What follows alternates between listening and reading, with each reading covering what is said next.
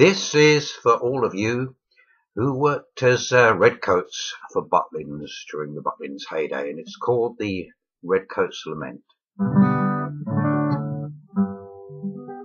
There's a camp at Barry Island, there's another one at Ayr, there's also one at Clacton in the east, where we signed on as redcoats and we didn't have a care.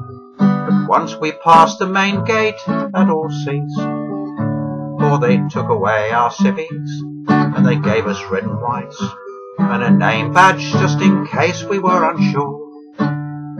With a striped tie for the daytime, and a bow tie for the nights, and a broom for up our arse to sweep the floor. There's a sunny camp at Bognor, and at Minehead it's the same, though in Skegness the sea breeze is keenly felt. There's a vast one at Pwllheli, which is not an easy name. No one's ever certain how it's spelled. Where we made first sitting breakfast, and we almost made a smile, though we'd only had an hour or two in bed. Chalet to the dining hall is nearly half a mile so we wish we'd gone self-catering instead.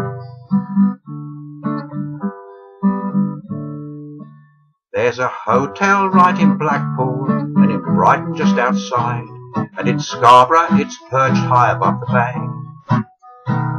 In Cliftonville the buildings are all scattered far and wide, where Filey ends we really couldn't say. Where we read the Daily Detail, with sad and sinking hearts. We can't do ballroom dancing, we insist. And we buggered up the buy sheet for the snooker and the darts, and tried to catch some shut-eye at the West. We've been chased as Captain Blood by kids three times around the camp. We've been thrown at Donkey Derby in the dirt. We filled in tell your friends cards till it gave us writer's cramp, and pushed car raffle tickets till it hurt. We slept in metal double bunks in case you didn't know, which tend to shake and rattle under stress. And if you're on the top one while your mate has sex below, it's like sleeping on the Edinburgh Express.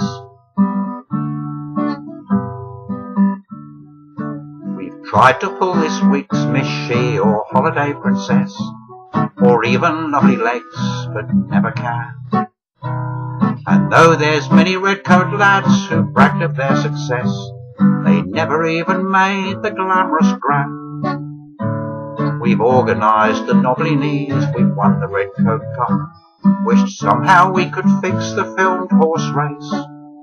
And we stood through national talent heats where 32 turned up and 26 performed Amazing Grace.